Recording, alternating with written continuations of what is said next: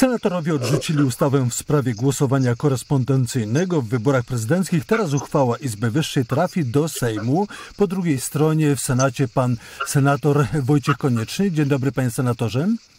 Dzień dobry panie redaktorze, dzień dobry państwu. Panie senatorze, za odrzuceniem ustawy głosowało 50 senatorów, 35 było przeciw, jedna osoba się wstrzymała. Jak pan w ogóle ocenia to głosowanie? Coś pana zaskoczyło? No nieobecność senatorów y, Prawa i Sprawiedliwości, mm, trochę demobilizacja taka. Y, no było to nieco zaskakujące, tym bardziej, że nawoływali y, cały czas do jak najszybszego głosowania nad tą ustawą. Dlatego no nieco byliśmy zaskoczeni, że w momencie ogłoszenia głosowania no nie byli czy to online, czy to obecni na, na sali. No ale głosowanie przebiegło mniej więcej tak, jak, jak się spodziewaliśmy. Senator Władysław Komarnicki trochę zrobił niespodziankę chyba PiS, prawda? Tak, ale panie redaktorze, no tutaj myślę, że nie ujawnię wielkiej tajemnicy. Pan senator przedwczoraj miał operację i, i wczoraj leżał jeszcze w łóżku chyba szpitalnym i myślę, że, że no, on twierdzi, że to była pomyłka i, i no, mhm. rzeczywiście sytuacja, w której jest, e, może go usprawiedliwiać jak najbardziej. Dodajmy, senator Władysław Komarnicki to jest z Koalicji Obywatelskiej i zagłosował tak, jakby sobie tego życzył PiS. Ale tak jak pan mówi, była to pomyłka, e, pewne osłabienie organizmu. Panie senatorze, wiadomo, że weto senackie zostanie połknięte teraz przez Sejm, ale co dalej? Jakie scenariusze co do wyborów prezydenckich? Jak pan to ocenia? Co się wydarzy w Sejmie. E, z tego, co tutaj na miejscu słyszymy, wszystko się do końca e, jakby waży i jest na ostrzu noża. Tutaj parę głosów może zupełnie odmienić tę sytuację. I co się wydarzy? No, w tej chwili e, wiadomości, które posiadamy, e, no, są takie, że jednak pan minister, były wicepremier Gowin no, dysponuje kilkoma, jak to się tutaj mówi, szablami i, i jest możliwe podtrzymanie tego weta senackiego.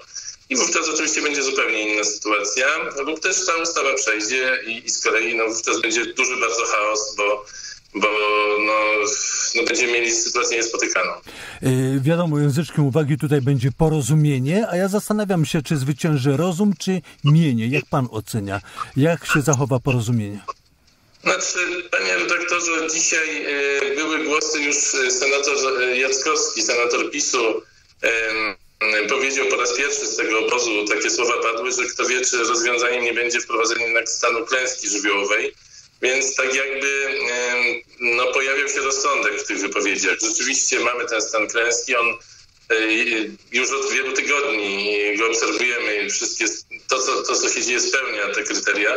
Natomiast rzeczywiście, no jeżeli chodzi o wybory e, prezydenckie, no to wprowadzenie tego stanu no rozwiąże ten problem przynajmniej na jakiś czas, ponieważ oczywiście trzeba usiąść, zastanowić się w, w gronie posłów, senatorów, e, jak zmienić prawo, żeby wybory były w ogóle możliwe również w innym terminie.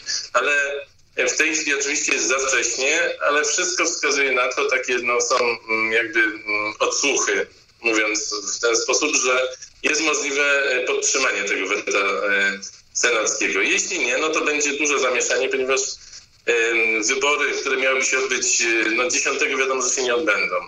17, e, 23 są duże wątpliwości, czy też to będzie konstytucyjne, czy to będzie prawne. Pani e, marszałek Witek skierowała pytanie do Trybunału Konstytucyjnego w sprawie nieistniejącej ustawy. No to też jest e, dość kuriozalne. Pani marszałek ma prawo znaczy to prezydent ma prawo pytać, właściwie Trybunał Konstytucyjny, więc jeszcze przed uchwaleniem ustawy no, takie pytanie powinno być po prostu oddalone. Więc widać pewien chaos i, i, i różne koncepcje w obozie władzy. Zobaczymy.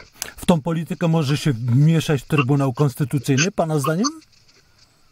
No, jeżeli takie będzie, e, takie zapotrzebowanie polityczne będzie, to zapewne tak, e, aczkolwiek no, konstytucjonaliści dość, e, wypowiadają się na ten temat dość, e, no, że tak powiem, lekceważąco. No, na, na tego rodzaju e, stanowienie prawa czy, czy próby obejścia prawa. Rozumiem. To na zakończenie zapytam, jak pan przewiduje, kiedy będą wybory? Wiadomo, że nie 10 maja. 17 nam został 23 sobota jeszcze.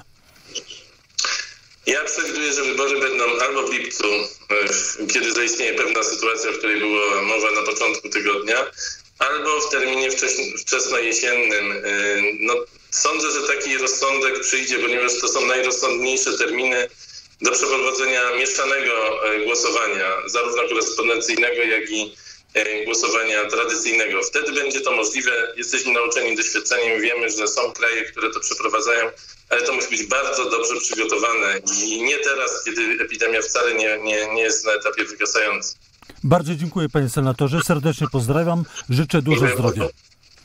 Wzajemnie